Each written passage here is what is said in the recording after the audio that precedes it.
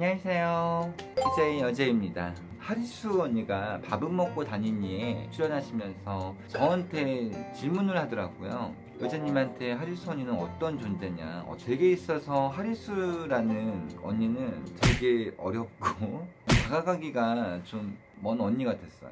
근데 좋은 언니인 건 알지만은 애교가 없다 보니까 제가 그래서 뭐 친하게 어 언니 뭐해서 밥 먹었어? 이렇게 반말을 못해요.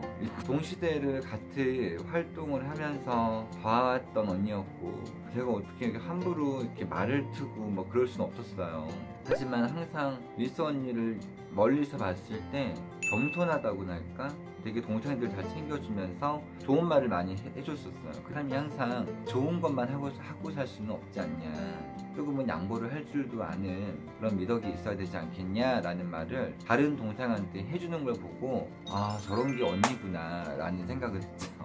되게 막 옆에서 전화하고 뭐 친하고 이런 건 아니에요. 근데 리수 언니를 어려워했지만 리수 언니가 제 방송에 나오시면서 편하게 대해주셨어요. 너무 그게 고마웠고 어릴 때 또 제가 돈을 진짜 못 벌 때였어요. 제가 이제 리수 언니의 공연 소품을 좀 정리해주고 있었는데 그 당시에 이제 소품 정리했다고 고맙다고 만 원을 저한테 준 적이 있었어요. 제가 그때 당시에 하루 종일 일, 일해서 만 원 벌 때였거든요. 근데 그 만 원의 가치는 정말 백만 원 같은 그런 만 원이었죠. 그 동시대 때 언니들은 좀 질투를 많이 했어요. 하리수 언니가 너무 뛰어났다 보니까. 다들 노래 잘하고 얼굴 이쁘고 춤 잘 추고 언변 좋고 이런 재주는 하나씩은 다 있었지만 언니는 모든 걸 다 갖췄던 언니였다 보니까 또래의 친구들은 별로 리수 언니를 좋아하진 않았지만 그 동생들은 너무 환호했어요 진짜. 남한테 좀 상처되지 않는 좋은 이야기들 조언들을 어릴 때부터 주변 동생들한테 많이 해주셨어요.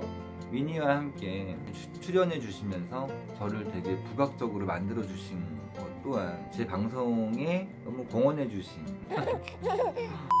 저는 좀 트랜스젠더일 수밖에 없는 얼굴을 갖고 있잖아요 누가 봐도. 리수 언니가 나옴으로 인해서 어깨나 손발을 먼저 보게 됐는데 그리고 성대도 여기 있나 없나 봐고 리수 언니만 아니었어도 모를 사람들이 리수 언니가 등장함과 인해서 트랜스젠더라는 게 들통이 나는 겨, 그런 경우에 리수 언니를 좀 험담을 좀 많이 하더라고요.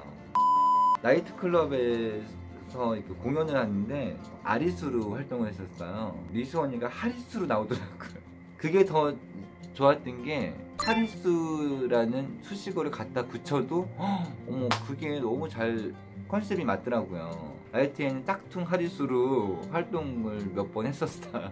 어떤 분들은 진짜 하리수인 줄 알더라고요. 사인을 한 두 번쯤 해준 적도 있었고 사진도 찍은 적 있었는데 어 저 하리수 아니에요 라고 하기도 무안하더라고요 진짜. 그래서 이제 사인을 했던 에피소드도 있었는데 그만큼 리수 언니의 등장과 함께 많이 존중을 받았던 시대였어요 그때. 트랜스젠더다 하면은 어 너무 다들 좋아하시는 거예요.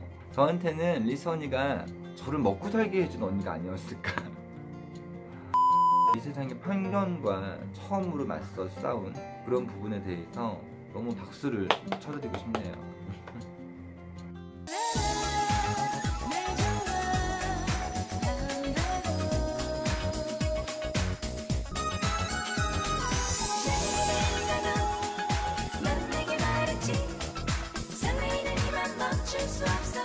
요제TV 구독, 좋아요 좀 눌러주세요